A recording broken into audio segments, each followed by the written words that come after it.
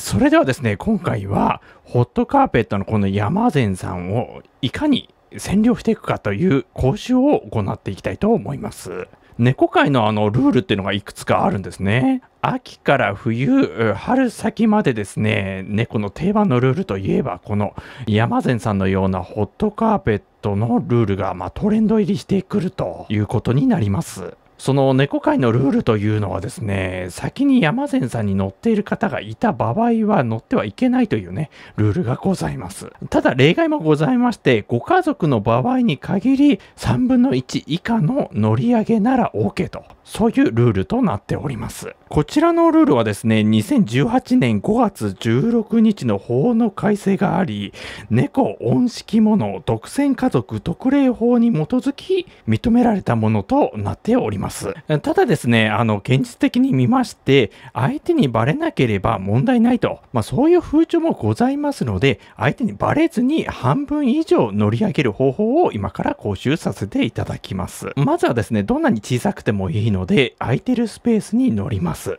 まあ、できる限り両手両足を乗せる感じがベストでございます。そしてですね、次行っていく方法は、先に乗っている猫ちゃん側の自分の肩をぎゅーっと、わざとじゃないんだよ。ぎゅーっと圧をかけていきます。このようにさりげなく上を見るのもいいでしょう。少し時間が経って反応がない場合は、さらに少し力を加えてぎゅーっと圧をかけていきます。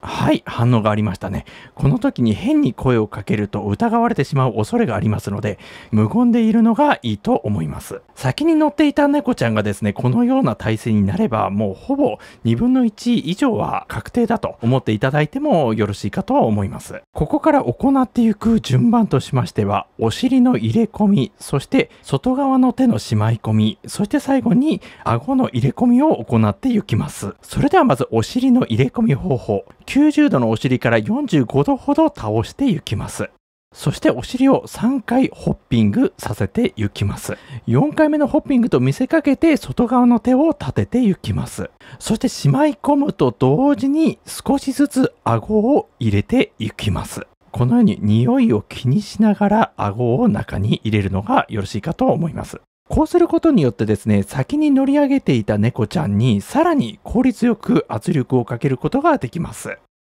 はい、反応がありました。ここから相手の顔をこちら側ではなく反対側から見ると同時に体を入れていきます。これでですね、山善さんのようなホットカーペットに2分の1以上乗り上げることができました。このような方法を使っていただければ、人間の場合であっても、旦那様に取られがちなお布団も逆に取り返してやるということが可能となっておりますので、ぜひこのような方法を試していただきまして、結果をコメント欄に書いていただければ嬉しいです。ファイ以上をもちまして、山善さんのようなホットカーペットを後乗りで独占する方法を講習させていただきました。ファイ皆さんお疲れ様でした。